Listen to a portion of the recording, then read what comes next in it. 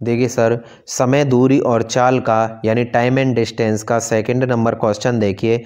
एक लड़का तीन किलोमीटर प्रति घंटे की चाल से स्कूल जाता है और दो किलोमीटर प्रति घंटे की चाल से वापस आता है और उसे कुल पाँच घंटे का समय लगता है। यानी कुल मतलब आने तथा जाने में पाँच घंटे का समय लगता है। घर से स्कूल की दूरी ज्ञात कीजिए। देखिए श्रीमान, ये आपका घर है और ये स्कूल है।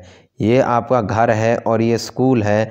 अब कोई लड़का क्या है कि तीन किलोमीटर प्रति घंटे की चाल से जाता है?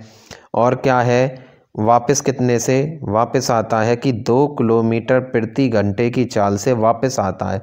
और उसे जो आने तथा जाने में जो टोटल टी समय लगता है, वो पाँच घंटे लगता है। और मान के चलो, स्कूल और घर के बीच की डिस्टेंस कितनी है? डी है। अभी मैंने एक सूत्र फार्मूला बताया था कि डी बराबर कितना होता है? S one into S two upon में एस वन प्लस में S two into T T four time और ये टाइम कौन सा है? ये टाइम टोटल टाइम है, आने तथा जाने में। ये टाइम यहाँ से यहाँ तक है। यानी घर से लेकर स्कूल जाएँ और स्कूल से वापस आने में जो टोटल टाइम है, ये टी है, ठीक है?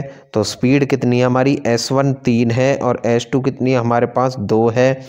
और तीन प्लस में दो और टाइम कितना आपके पास? पाँच घंटे हैं। तो तीन और दो पाँच पाँच से पाँच घट गया तो कितना हो गया? तीन दूनी छः किलोमीटर। तो घर से स्कूल के बीच की जो दूरी है, वो छः किलोमीटर प्रति घंटे सॉरी छः किलोमीटर है। तो आपका ए ऑप्शन बिल्कुल करेक्ट ऑप्शन है।